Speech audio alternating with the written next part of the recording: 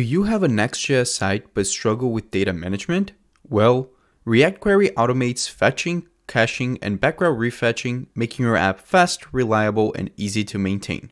A lot of people don't understand how to use React Query with Next.js, so in this video, I will teach you exactly that. So let's dive in. Before we dive in, I need to ask you, do you want to learn topics like algorithms and data structures through hands-on interactive lessons? Well, today's sponsor, Brilliant, can help you exactly with that. I truly believe that the best way to master challenging concepts is by actually doing, and Brilliant makes that possible. Their platform isn't about passively watching videos, it's all about building real understanding through interactive problem solving lessons. I've been blown away by how their algorithm and data structures course reshaped my approach to tackling tough problems.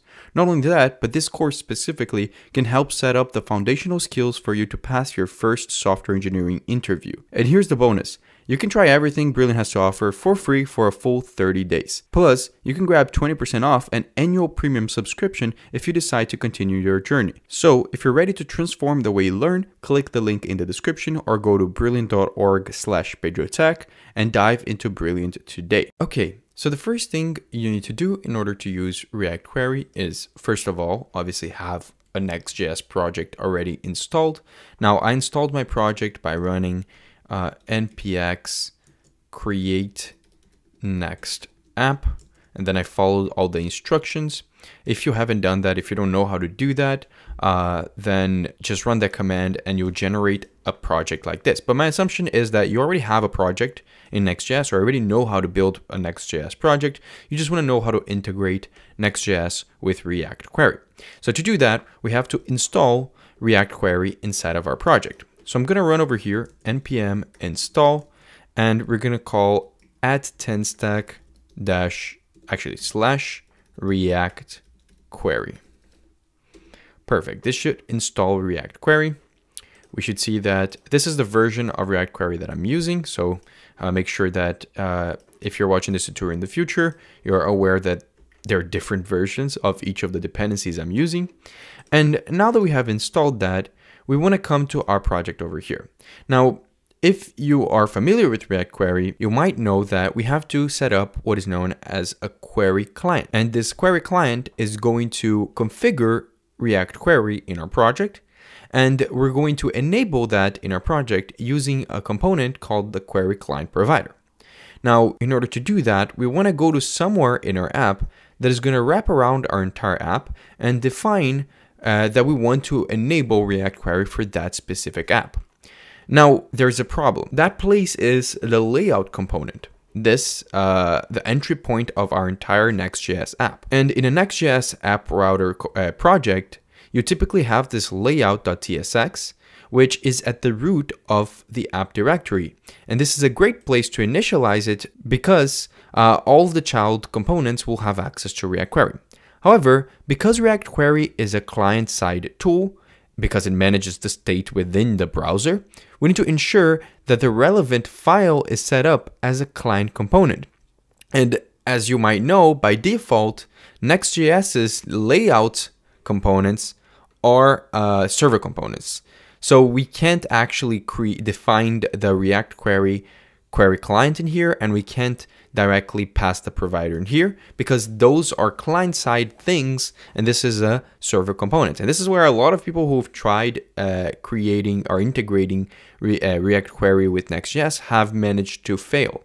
So the way we do this is by creating our own uh, wrapped component uh, which is going to be called the query client component. So I'm going to create a folder over here called components and let's actually call it not query client, let's call it query provider.tsx. And this component is going to be a client component. So we're going to make sure to say that this is using client at the top. Then we want to export default a function called the query provider. And since it's a wrapped component, we need to define that we are going to accept children as props and let's create here just quickly an interface uh, for the props. So since it's children, it'll just be equal to a React node. So react.react node. And then let's define how this component is going to look like. Like I said, this whole component, its main purpose is just generating this thing called the query client and returning the query client provider. This is a component that you can import from React Query and helps us tell React Query where in our app we want to enable React Query, which in this case will be in our entire app. Now, inside of this, we'll just return the children and it is giving us some red squiggly lines because we do have to initialize our query client and pass it over here. So how do we define our query client? Well, the best way to do this with Next.js is by creating a state and setting equal to use state. And then inside of here, we're going to put a callback function that is going to call this uh, class called query client that we can import from React Query and we just define it by saying new and then query client. And this will return back the actual value of the query client that we can just pass over here. Now, the reason why we are creating this uh, instance of the query client inside of a state is because this will ensure that the data is not shared between different users and requests while still only creating the query client once per component lifecycle. So it's a bit different, even the whole setup of having to create this in its own provider component, uh, it's a bit different from how you would in a non-Next.js project. Now, all we have to do is just pass this query provider around here, and we should have enabled React Query in our project. I just have to import it as well at the top. Perfect. So we have successfully created our query provider. We declared it as a client component. We defined this at the top level of our project and we wrapped any children component that is going to exist in our project with the React Query Client provider. So now what do we do? Well, let's start fetching some data. So in React Query, we can come to whatever component we want to fetch data on. Uh, in this case, let's fetch it on the initial page in uh, our Next.js project. I'm just going to delete all of this which is the uh, boilerplate code that comes with React with Next.js. So I'm just gonna save this. And inside of here, we wanna make sure that this is a client component. So I'm gonna use client at the top because by default, this is indeed a server component. And like I said, uh, React Query is a client side tool. Then we wanna import at the top a hook from at TanStack React Query. And the way you fetch data in React Query is by using two different hooks. You can either get data, so fetch data using the use query hook, and you can either you can mutate data using the use mutation hook. So in HTTP uh, method terminology, use query would be used for get requests, and use mutation would be used for uh, put requests, delete requests, and post requests. So in this case, let's use the use query hook to fetch some data. So how do we do that? Well, somewhere here, let's create a function that is going to uh, fetch the data that we want.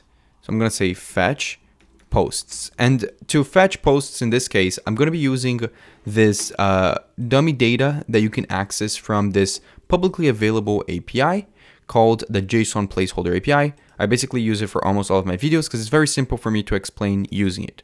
If you go to this URL, it will just return a list of objects that you can test uh, making API requests to.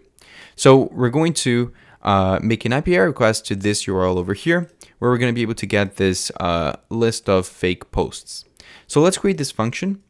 And since we're using TypeScript, we do have to specify what this will return. This is going to return a promise with the list of posts. So let's create here a type that is going to, uh, let's actually call it a type. Let's make it a type.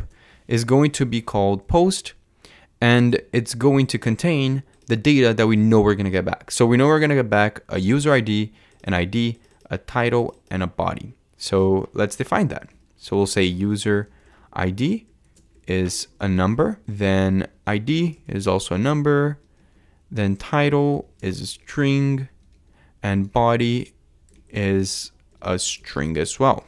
Perfect. Now we'll just say that this function returns a promise that is a list of posts. Perfect. Now inside of here, let's say const response and set this equal to await and we'll fetch this URL that we have for the API. So I'll just paste that over here. This should return back the list of data and below here, we're just going to actually let me make this response and we're just going to return the response.json. Now, if you're not familiar with React Query, you might be asking, aren't we fetching data with React Query? Why are we creating a fetch function that is going to use the fetch API to do that? Well, you're fetching the data with whatever tools you want to use, such as the fetch API or Axios, for example. But when you give that data or that method of fetching data to React Query, React Query will handle all of the rest which mainly focuses on, for example, dealing with the state of your server data in the client side, also dealing with how your UI should react to this data. So they'll give us information about whether or not the data is pending or if there was an errors and so on. If you want to go in an in-depth React Query tutorial, not specifically for Next.js, I literally just posted one last week and it should be appearing on the screen right now. But this video is mostly focused on just showing you guys how to integrate it with Next.js. Then after we create the fetch post function, we can very easily come here and we can call the use query hook. The use query hook requires us to pass in an object inside of here which two th with two things. The first one is a query key which is just a key or we'll put it into a list but this is a key that is going to help us identify uh, uniquely identify this query that we're doing that we're making so that we can later on do things with it like invalidate it and access its cache and so on. So let's call it posts just to give it a uniquely a unique identifier. Then we also want to pass a query function. And this query function is going to be the fetch posts function that we just generated. Then, like I said, we can get data inside of here. So we can get the data that we get back from this request. We can also get any errors that happened and also if the data is loading. Now, by getting all of that, we can uh, deal with uh, the states in which there was an error and or if the data is loading before we even return the UI. So for example, over here, I can check if the data is loading, we can just return a p tag saying loading and three dots. You'll see that for a second, every time I refresh this, it will say loading and then it will disappear because the data will have been successfully fetched. If there is an error, we can also, instead of just using this error object over here, we can also get the is error boolean, which will literally do the same thing as the is loading, but for erroring. So we can check to see if, if there was an error. And if there was, we can actually get the specific error message by saying error and then displaying the error object that we got from here as an error type for using TypeScript and then accessing the specific message that we get back. Now, let's display the data that we get back from this API request. To do that, let's go into our UI and we can easily just say data, map through it, and since we specified over here in our fetch posts function what this expects to return, we should have access to the specific type definitions for our uh, data. So we'll have posts, right? We can define this as post, also get a, a key over here, and we can return a div that will include um, inside of here information. For example, we can define a p tag with the title. So we'll say title, and then we'll say post dot title. Then we can do the same thing for the uh, content. We can say content and we can say post dot content. Just realize, uh, actually it's not content, right? It's body. See, type definitions is good because it literally uh, told me I was wrong. So I'm gonna say body over here. Perfect. I'll also actually make this into an H4 tag because I think the title should be um, more apparent. So yeah, the last thing we need to do is only just pass the key over here and you should see that we successfully uh, fetched data inside of a Next.js project using the React Query library. Now, despite everything that I mentioned in the beginning on why I think it's great to use React Query, um, there are some scenarios in which it might not be ideal for you to use. For example, with Next.js, we obviously can have server components. And in a server component, you can, for example, directly uh, access a database by using some sort of ORM inside of the component, right? So if I was using Prisma, for example, and I wanted to get the posts data inside of the Prisma database, I could actually uh, come here and say const posts equals to await Prisma dot uh, obviously, I don't have that right here, but you can you get what I mean, right? I could access directly the ORM that I'm using and make requests to our database directly over here without the need uh, for an API that I generate or an API that is outside of the project. So in that case, it might not be ideal. And also, if your site is rarely needs client-side data fetching or caching, like a small site without any interaction, you definitely don't need React Query. I think React Query is extremely important and a lot of people for some reason think that it's not something that you can use with Next.js. I've seen this question so many times on subred uh, on Reddit or on Twitter, uh, but it's just not the case. I use React Query most of the time when I make Next.js projects. So yeah, that's that's basically it. Again, this is not an in-depth tutorial on React Query. It's just a video on how to integrate it with Next.js. If you want to see my in-depth React Query tutorial, I'll put the link for it in the description. If you want to check out the code for this video, it's all going to be in the description. I really appreciate you guys watching this video. If you enjoyed it, please leave a like down below and comment what you want to see next. Subscribe because I'm posting every week and I would massively appreciate it. And yeah, that's basically it. Really hope you guys enjoyed it and I see you guys next time.